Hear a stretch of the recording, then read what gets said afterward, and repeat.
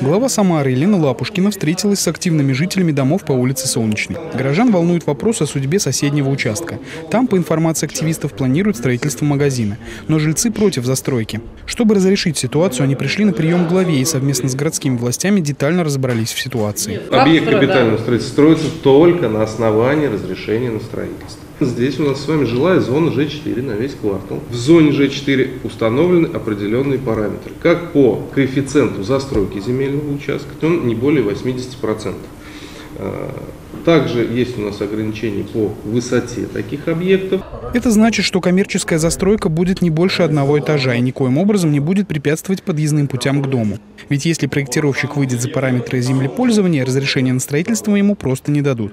Получается, что жителям дома по улице Солнечной опасаться нечего. Дальнейшую судьбу земельного участка определят в диалоге. С учетом э, всех тех ограничений, которые здесь под протокол, под камеры сегодня были высказаны, со всеми опасениями, которые вы назвали.